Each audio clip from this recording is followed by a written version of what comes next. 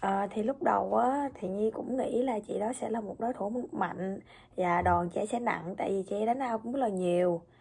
Với lại á, lúc mà Nhi mới vừa bước chân qua Hàn Quốc nè thì mấy người Hàn Quốc á, cũng nói là ừ ờ, chị ấy ờ, là một cái người mạnh võ sĩ ờ, Nhật Bản power võ sĩ Nhật Bản la la la đủ thứ hết á. Cái mình mình nghe mình không phải sợ mà mình kiểu mình tức á kiểu giống như là ủa vậy tôi tôi là cái gì? À, tôi cũng khỏe tôi cũng mạnh vậy tôi còn trẻ nữa. Sao mọi người không nghĩ như vậy? Xong rồi cái lúc mà lên đài á thì đánh xong hiệp một á thì nhi mới bất ngờ là trời ơi mình không nghĩ là đòn trẻ không có nặng rồi trẻ còn chậm nữa chứ. Nói chung là thắng trận này không gọi là dễ mà cũng không gọi là khó quá. Nhưng mà hơi bất ngờ là không nghĩ là chị đòn trẻ không nặng. Tại vì lúc đầu nhi sợ ao lắm á. Nhi nhi lên đài với tinh thần là phải bảo vệ bản thân mình trước.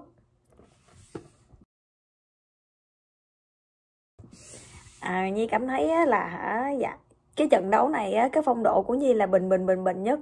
À, trong những cái trận đấu mà nhi đã từng đánh á tại vì mình tâm lý thoải mái á nên mình đánh nó cũng tốt hơn. Thì phong độ thì phải tùy tùy tùy tùy trận tùy người đánh nữa.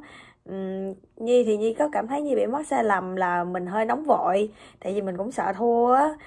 Thì khi mà bị chị ấy đánh tấn công quá nhiều thì mình cũng ban vô mình đánh luôn. Thì không may mắn thì cái đầu chị ấy hình như học thiết đầu công hay gì á hai cái đầu đập vô nhau mà rốt cuộc mình bị tét quá trời luôn rốt cuộc đầu bà không tét.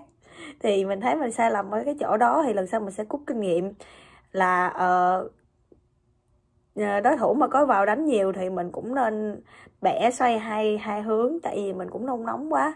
Thì trận đấu này cũng là trận đấu quan trọng mà nên mình cũng sợ bị thua ngược á.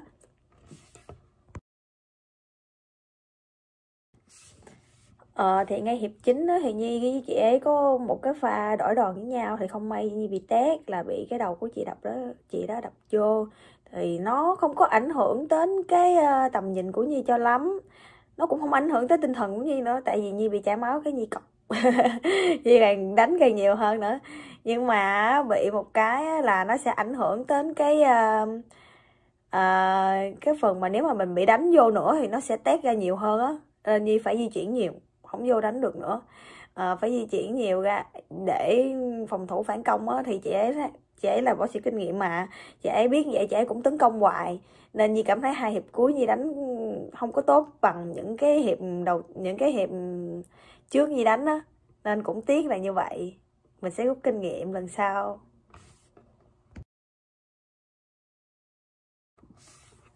À, thì đương nhiên cái người mà mình muốn À, cảm ơn đầu tiên là ông bầu của mình vì đã cho mình có cơ hội được đứng trên sàn đài để tranh một cái giải lớn như vậy và được à, là một cái người đi vào lịch sử của boxing Việt Nam.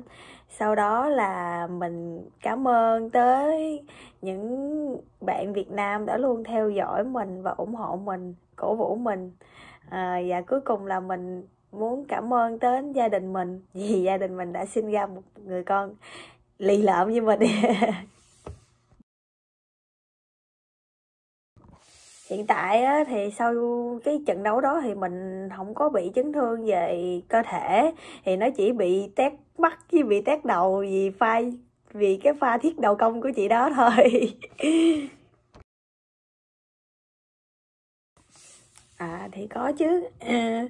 thì à, dĩ nhiên là mình lấy đai xong rồi mình đương nhiên mình phải kỳ vọng mình bảo vệ đai được nhiều lần để cho cái răng tiên của mình nó nó cao lên để cho những người thách đấu của mình nó phải trả tiền cho mình nhiều hơn. Ờ, thì à, trước tiên á, là bây giờ mình lấy đai này rồi thì cái mục tiêu tiếp theo của mình đó thì mình sẽ bảo vệ đai sau đó thì có thể mình sẽ tăng hạng lên để đánh những à, hạng khác để mình cố gắng lấy đai thế giới của những hàng khác. Xong rồi mình sẽ hoành hành qua tới những cái hệ thống khác nữa.